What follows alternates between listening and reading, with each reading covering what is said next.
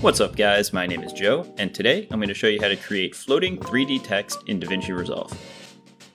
Alright, I have this 5 second clip zooming out down a hallway, and I want to put floating text in this doorway. To do this, we're going to start by heading over to the Fusion tab. First, let's add our nodes. We have 3D text, 3D merge, and 3D renderer over here. Make sure you enable lighting and shadows for your renderer.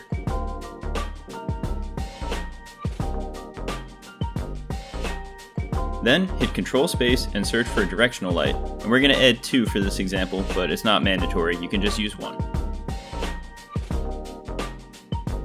Lastly, we're going to add a merge node. Hold shift and drag and drop it between media in and media out. Now we're going to set up our nodes. We have our two lights and our text connected to the 3D merge node. Connect that to our 3D renderer then connect our renderer to our merge node. Alright, hover over the 3D text node and click the left dot right here to bring up the 3D workspace. To navigate the 3D workspace, middle click and drag to move around, Alt plus middle click to rotate, scroll wheel allows you to move up and down, and holding control and using the scroll wheel allows you to zoom in and out. Okay, click your 3D text node, type your text, and set your extrusion depth.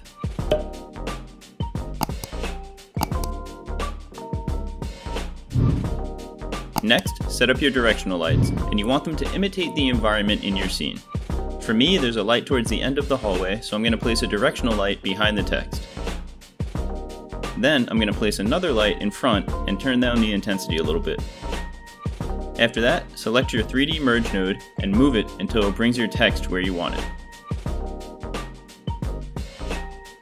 Now, make sure you're at the beginning of your timeline and select your 3D text node go to the Transform menu and set a keyframe for the Z-axis under Translation.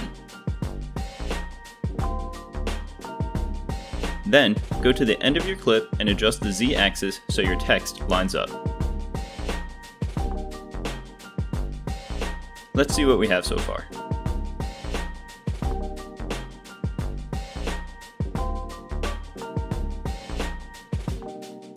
The final step is to add a shadow. To do this, go back to the Edit tab and add a text clip.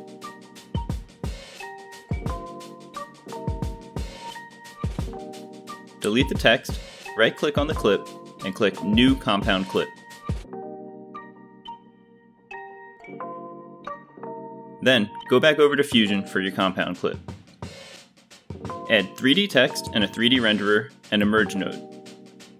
Next, type your text, change the color to black, and set the extrusion depth to 0.01. Go over to the transform menu and adjust the rotation so it lines up with your scene. For me, I changed the X rotation to 100. Head back over to the Edit tab, go to OpenFX, and drag and drop a Gaussian blur onto your compound clip, and lower the opacity. I like 50%. Go to the beginning of your clip, take your shadow, and move it so it lines up with your text. Then, set keyframes for zoom and position. Next, go to the end of your clip and adjust the zoom and position so it lines up. You're going to have to play it back a few times and do some fine adjustments to the zoom and position. Once you finish fine tuning the shadow, you're done. Alright guys, thank you so much for watching. If you enjoyed, please drop a like and consider subscribing. It really helps the channel. My name is Joe, and I'll see you in the next one. Do you have a clip you'd like to submit? Head on over to the link in the description to access our clip submission form for a chance to be featured in a future video.